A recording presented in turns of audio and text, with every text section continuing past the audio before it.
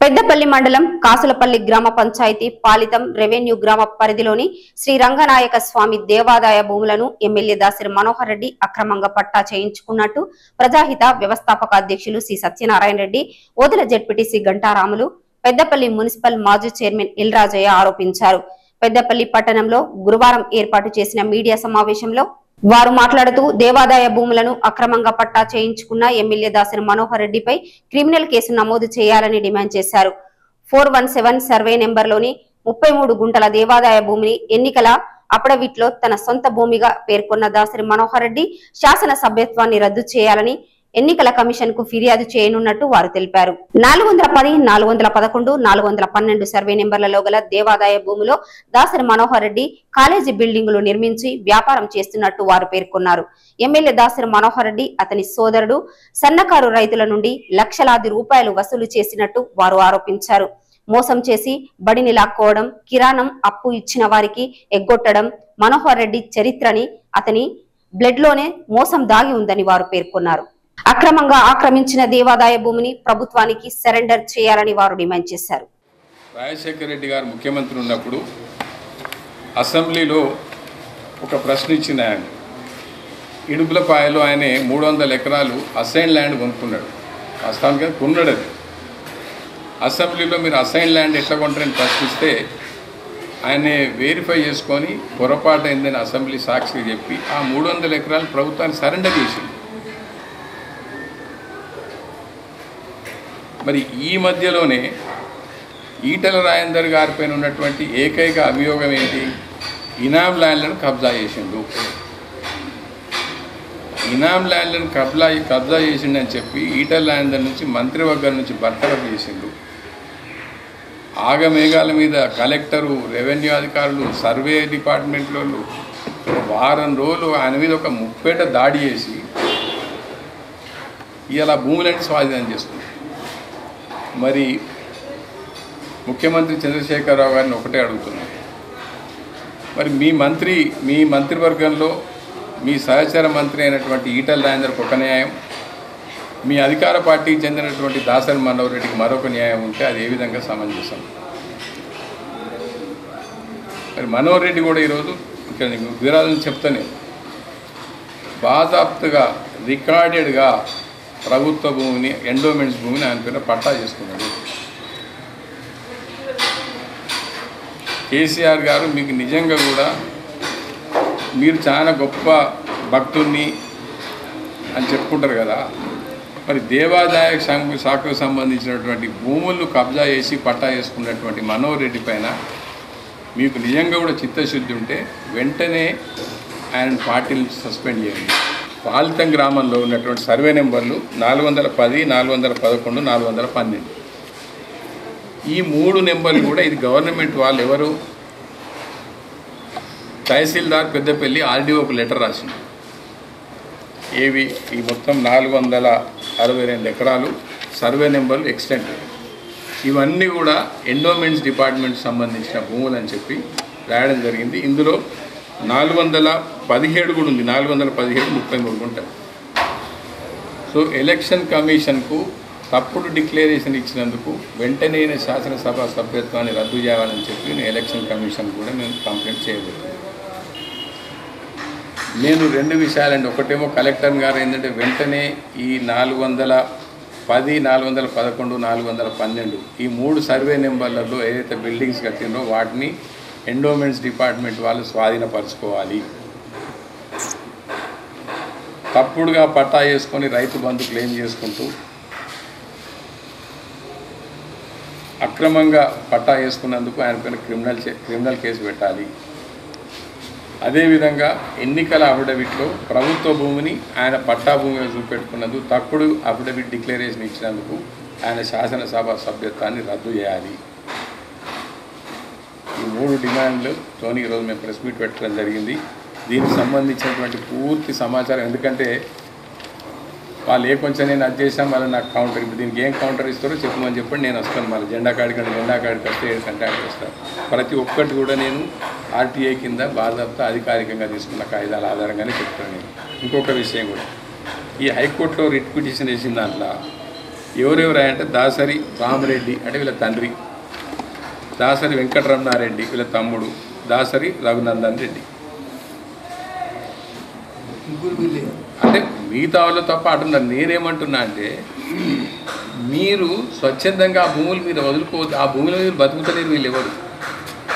మిగతా రైతులు రెండు ఎకరాలు ఎకరం వాళ్ళు ఉన్నారంటే వేసిందంటే అర్థం చేసుకోవచ్చు. అది కూడా తప్పే అది పైసలు వసూలు చేసి వేసిండు మీ అధికార పార్టీ మీదే కదా.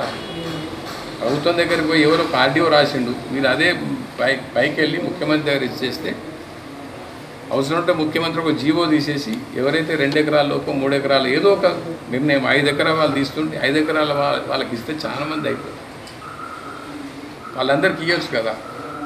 ఆ పని నువ్వు ఎందుకు చెప్పలేదు? ఇప్పుడు రైతులు పోయి లొల్లి పెడితే ఏం చేసిండు?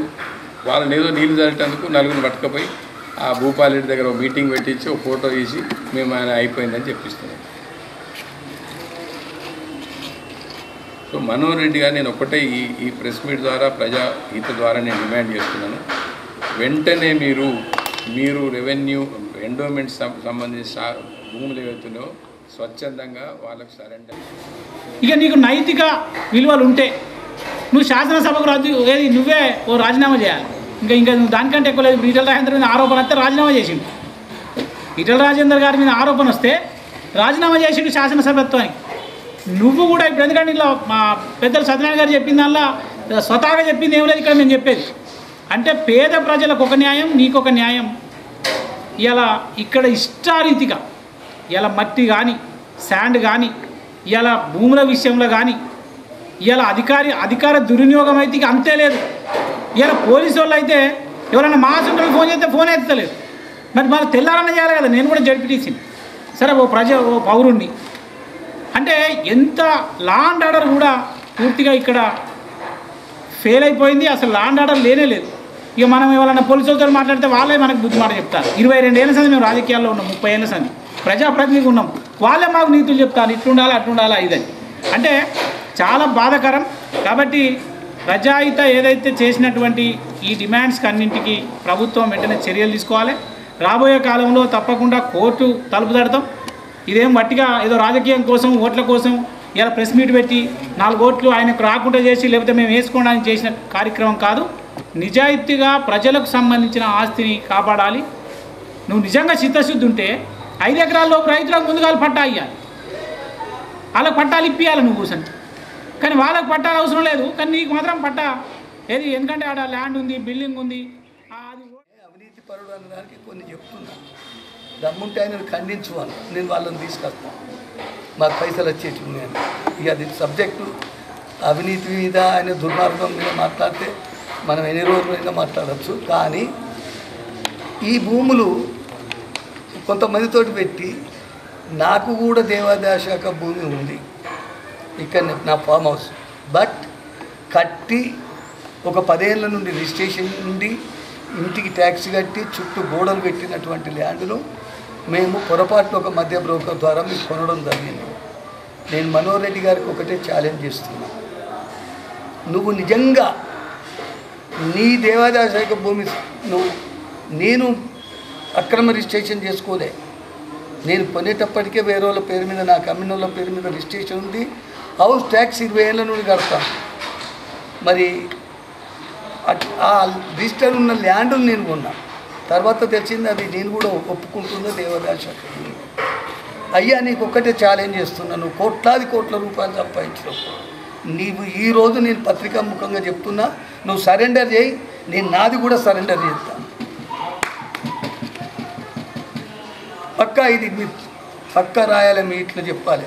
నేను సరెండర్ చేయడానికి జెండా కాడ ఆర్డీఓ గారికి కానీ కలెక్టర్ గారికి కానీ దేవాదాయ కమిషనర్ కానీ లేకపోతే జేట్ కమిషనర్ కానీ నేను ఇవ్వడానికి రెడీ ఉన్నా నువ్వు ఇస్తావా? నువ్వు తప్పకుండా దేవదాశక భూములు సరైన చేయాలి. ఇంకా నీ బాధ్యత ఏంటంటే చిన్న రైతులు నువ్వు తలుచుకుంటే కోర్టుల కేసేందుకు చిన్న రైతుల కొరకు కొట్లాడు ఓ రేట్ ఫిక్స్ చేయి. రేట్ ఫిక్స్ చేస్తే రైతులు రెడీ ఉన్నారు ఇవ్వడానికి. రేట్ ఫిక్స్ చేసి గవర్నమెంట్కు కూడా వట్టిగా తీసుకోకుండా ఏదో గవర్నమెంట్ రేట్ ఫిక్స్ చేస్తే వాళ్ళు కడతారు.